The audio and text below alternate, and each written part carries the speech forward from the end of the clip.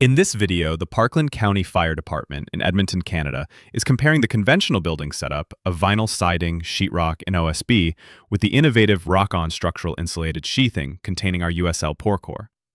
A complete model home, partially built in the traditional way, and partially with the innovative rock-on USLPore building method, will be fully set on fire.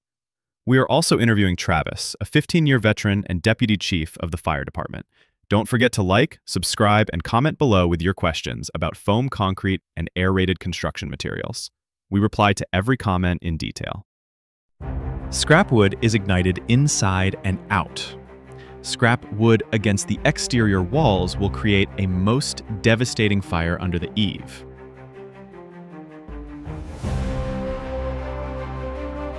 Wood is also piled inside, Quickly, the fire turns the stud wall built from OSB, sheetrock, and vinyl siding into a blaze. Don't forget to subscribe.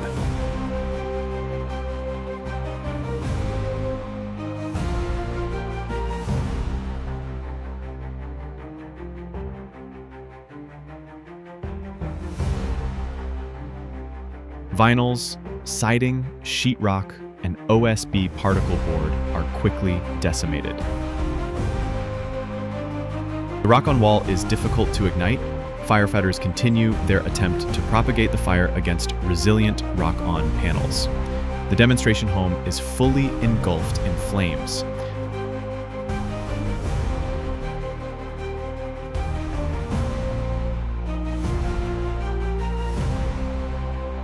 Don't forget to subscribe.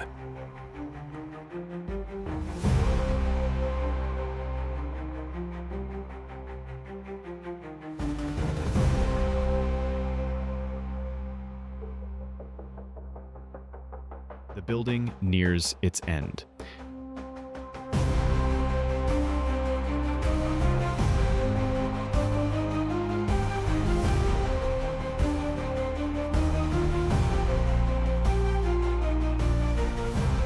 The fire is put out. From start to finish, approximately one hour has passed.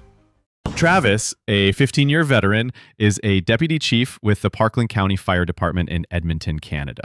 My Travis Dudley. I'm the Deputy Chief with Parkland County Fire. I've been with the service for 15 years, uh, and we're here today demoing the Magwall product uh, and, and, comparing it to traditional building methods and materials. And from what we've seen so far, it's uh, it's standing up really well.